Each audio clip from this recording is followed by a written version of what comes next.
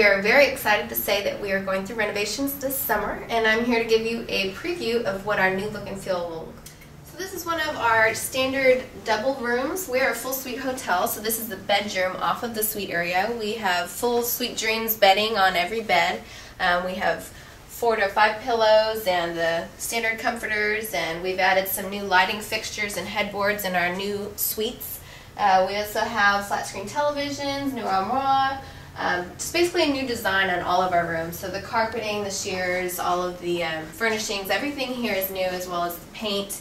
Um, so you can see on our beds we have our Sweet Dreams bedding. It's standard in all Doubletrees. Um, here we have new headboards and um, dust comforters and ruffles and these bed sheets here. Everything's new here in the room. Um, new furnishing, carpet. We have shears on the on the uh, windows there, as well as the uh, paint here and the coloring and the doors of the cabinet and the closets, as well as the bathroom.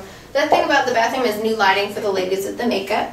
We have uh, custom marble tops for our um, bathroom areas, as well as the tub shower shower heads and everything in the shower is brand new.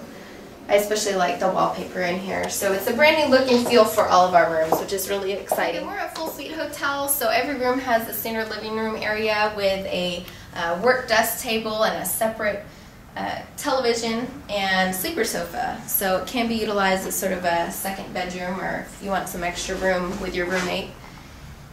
We also have full kitchens in every suite.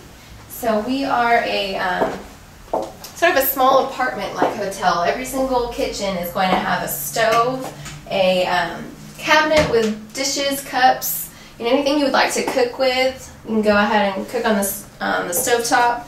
We have a microwave, a dishwasher, and a full refrigerator. So basically all set for a multiple night stay. You can feel quite at home in one of our rooms. And again, this, this is a standard suite, so all of our rooms here at the Doubletree Guest Suites will look just like this. Our renovations should be complete by um, late fall of this year, so we're really excited.